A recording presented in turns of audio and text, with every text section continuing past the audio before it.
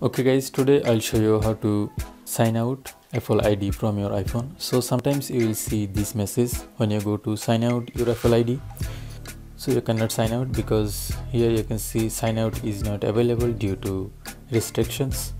So now i will remove the restrictions here. And if i tap on sign out it will not work. Okay let's get do this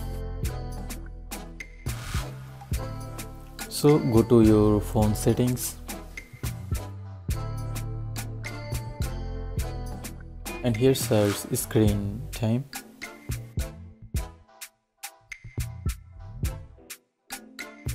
If you turn on screen time on your phone you have to turn it off. So click on here enter your screen time passcode and turn it off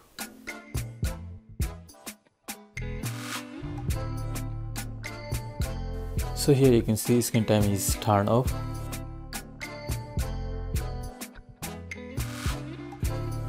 Now if I go back to my Apple ID and here you can see there is sign out option it's turned into red. Now if I tap on here I can sign out easily. So here you can say I tap on here.